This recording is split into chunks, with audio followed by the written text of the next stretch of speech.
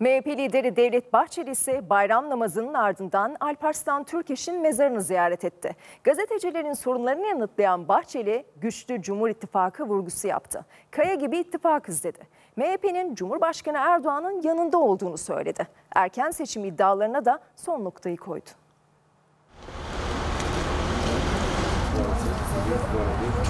Bizde çatlama olmaz. Biz ne kerpiçiz ne toprağız. Bir kaya gibi bir par- Cumhur İttifakı'yız. Normalleşme tartışmaları sürerken Cumhur İttifakı'nda çatlak mı var sorusu gündeme geldi.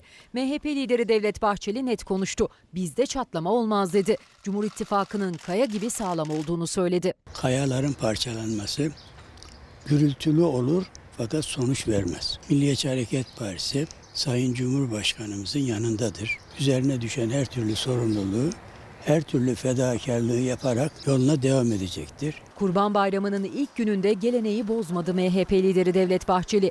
Kurmaylarıyla birlikte MHP kurucu genel başkanı Alparslan Türkeş'in mezarını ziyaret etti.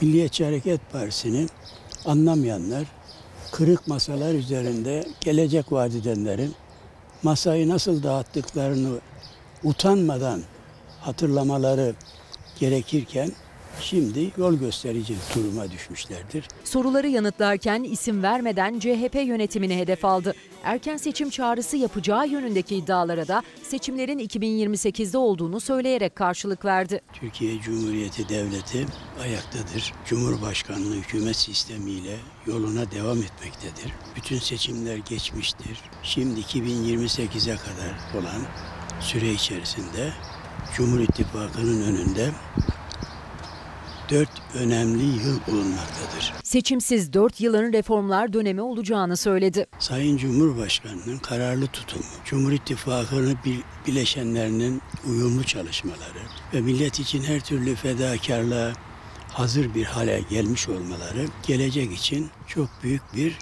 program hayata geçirecektir. MHP lideri bayram kahvaltısını da ülke ocaklarında yaptı.